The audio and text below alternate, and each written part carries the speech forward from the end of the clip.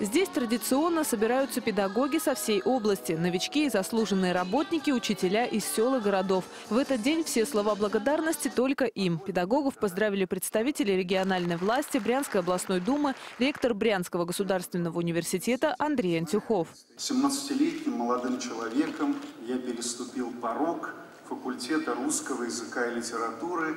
И вот на долгие 36 лет задержался в своем любимом университете, о котором сегодня совершенно правильно, искренне, сердечно было сказано, что он стал альма-матер для многих и многих поколений выпускников Среди собравшихся учителей – победители региональных и федеральных конкурсов. Президентские премии в этом году получили 8 педагогов. В их числе Лариса Абрамова, учитель начальных классов Миленской средней школы. У меня дети победители уже пятый год подряд в областных экологических чтениях, а также в талантоха, всероссийских конкурсах.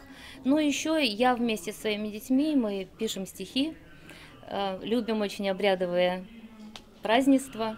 В общем, творчески, делюсь своим творчеством. Я считаю, что любить детей, идти одной дорогой, творить, шагать и вместе проживать, пройти веселых испытаний много и сердце без остатка детям отдавать.